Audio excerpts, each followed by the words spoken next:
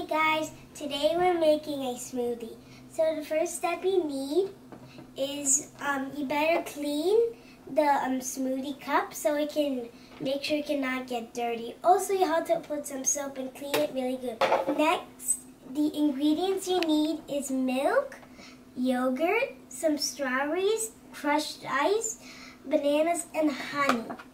So we're gonna set up this and put this on so then we can put um, the ingredients in the machine. Next, the first ingredient you need is crushed ice. So let me pour it in.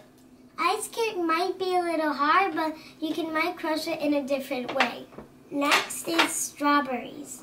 So you're gonna put the strawberries in the machine.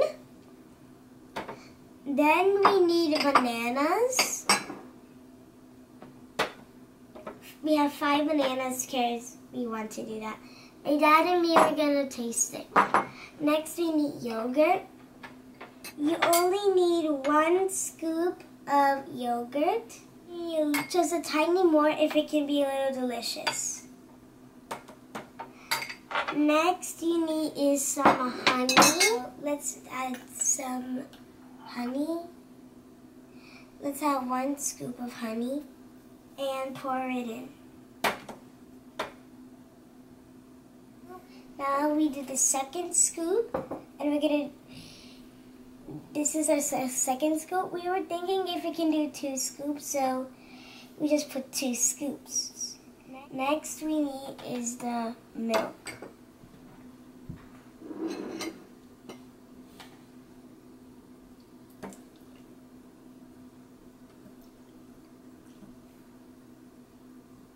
It. So we're supposed to put the lid on top of here and then we will, once it's nice and closed, we will turn it upside down and put it. That's a little weird. It's supposed to be right side up, but this is like the hole that we're supposed to put it in.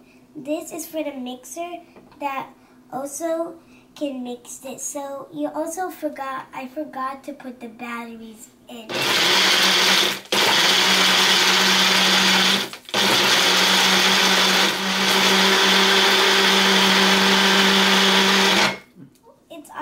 Mixing. Carefully take it off. Now it's already nice and pink, so we're going to pour it.